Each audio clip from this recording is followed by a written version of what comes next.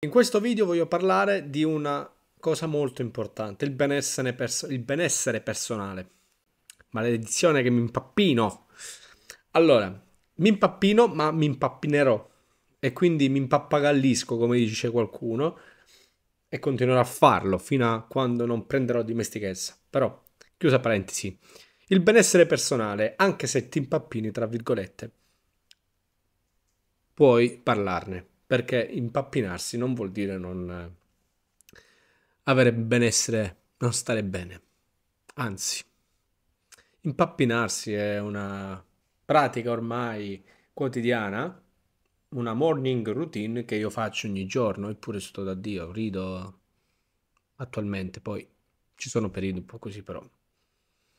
Anche l'impappinamento, di nuovo, papà, va bene, l'ho detto. Il benessere personale. Torniamo al discorso, il benessere personale. Perché è importante parlare di benessere personale per i marketer? Allora, il benessere personale per i marketer è importante per due semplici e originali, semplici, semplici, vabbè, due semplici motivi. Uno perché tutto quello che noi sappiamo fare e abbiamo voglia di fare, abbiamo studiato, eh, vorremmo fare, eccetera, eccetera, si basa di fondo su come stiamo. Cioè, quello che sappiamo fare lo possiamo fare se noi abbiamo una tranquillità dal punto di vista personale nella nostra vita, se stiamo bene, bene con il nostro sentire, se non abbiamo preoccupazioni, se abbiamo un corpo che comunque lo sentiamo vivo. Se abbiamo delle persone con cui possiamo parlare, non ci sentiamo giudicati. Se abbiamo persone con cui ci possiamo fidare, aprire. Se abbiamo ovviamente una serie di fattori intorno che ci stimolano. Cioè, tutto quello che noi sappiamo fare, possiamo fare, desideriamo fare, abbiamo studiato per poterlo mettere in pratica e farci qualcosa è sempre legato a noi. E questo noi, questo nostro essere umano, è complesso, è nato complesso e morirà complesso, nel senso che siamo un miscuglio di, ehm, di attività che ogni giorno ci portano in più parti. Se decidiamo di fare una cosa, come potete immaginare, non la, non la portiamo a termine solo quella, ma ce ne sono tante altre in corso che portiamo avanti. Non siamo dei robot, delle macchine che programmiamo per fare una sola cosa e poi la facciamo. Solo quella.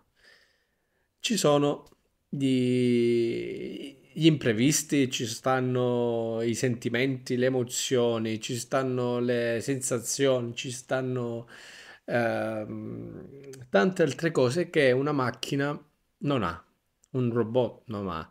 E questa cosa qui che non ha a noi invece che abbiamo fa tanto.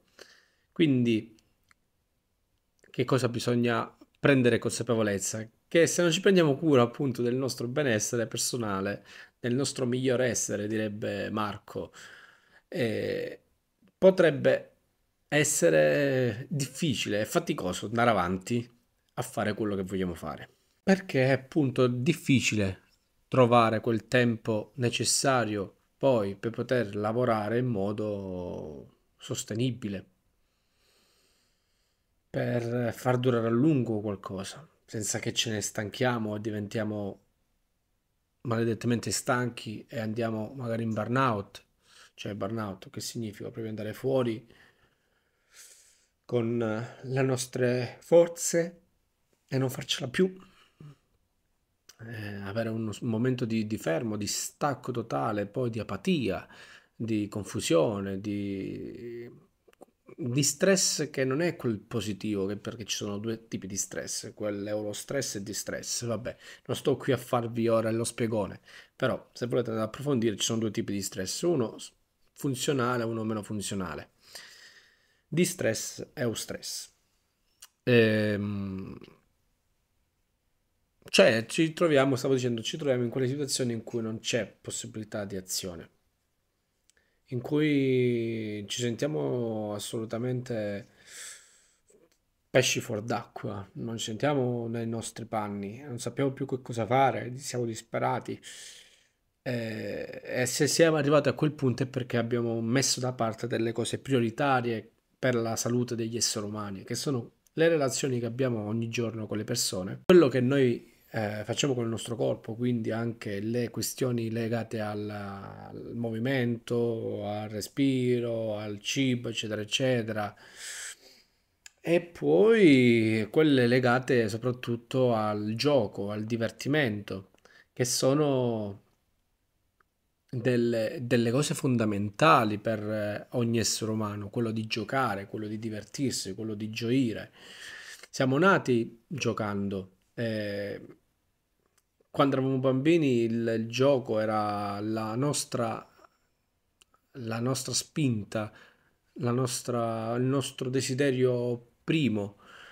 E quando siamo diventati adulti, poi questo gioco l'abbiamo un po' messo da parte, cosa che non è andato via come desiderio, come bisogno, ma forse l'abbiamo messo da parte per la cultura che abbiamo noi, che è una cultura che si è allontanata dal concetto di divertimento legato poi alla vita adulta. Cioè l'adulto nella nostra cultura è colui che non gioca, non scherza, si prende sul serio.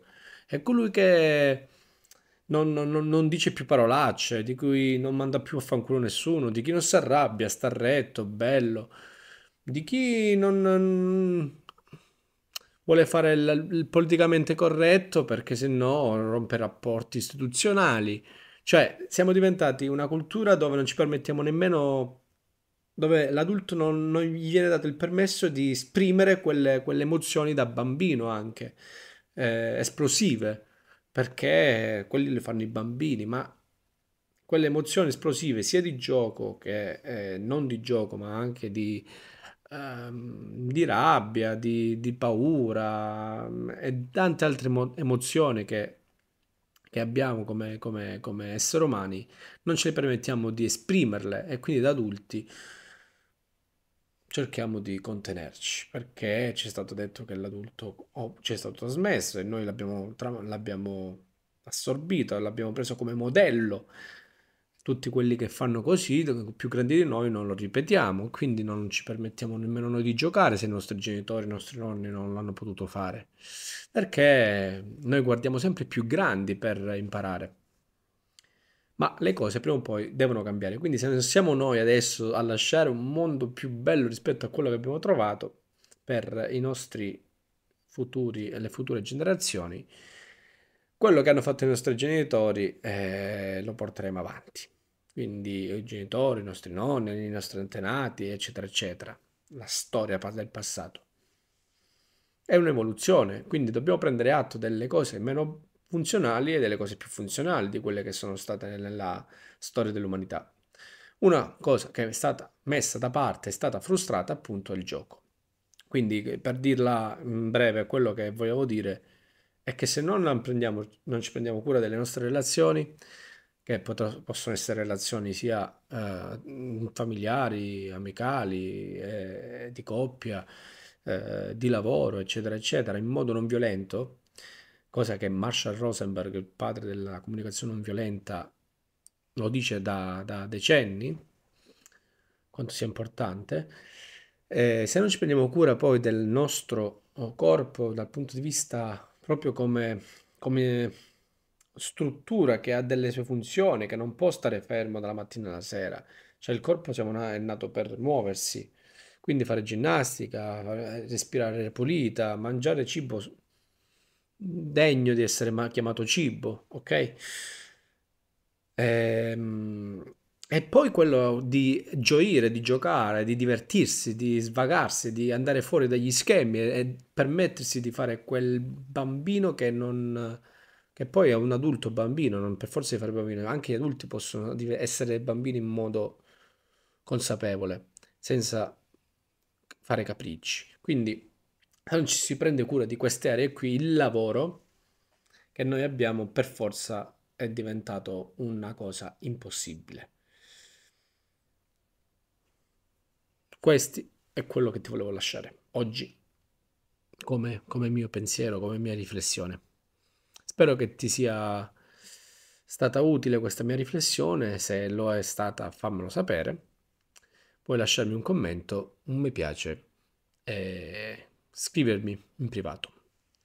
Sappi che questo video lo faccio per appunto anche educare quelle che sono le persone nel mondo del digital marketing che stanno affacciando, si sono affacciate a poter eh, cambiare, trasformare la loro vita se vogliono farlo in modo sostanzioso con qualcuno che, che, è in grado di farlo. E io ho fatto un percorso, ho creato un percorso proprio per aiutare questi tipi di problemi, di, di professioni come i marketer, come i freelancer, a superare determinati momenti di vita che sono magari per loro importanti e vogliono qualcuno di cui si possono fidare e che li sappia ascoltare.